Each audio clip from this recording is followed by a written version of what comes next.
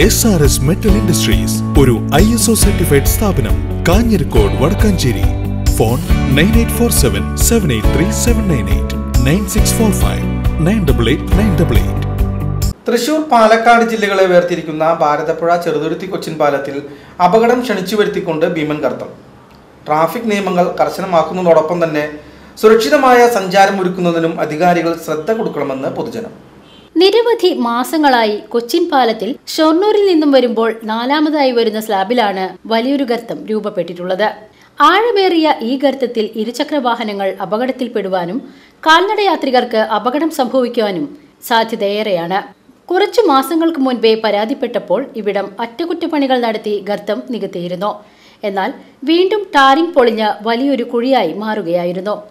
കൊച്ചുകുട്ടികളുടെ കാലുകൾ ഉള്ളിൽ കുടുങ്ങുന്ന രീതിയിലാണ് ഈ ഗർത്തം നിലകൊള്ളുന്നത്.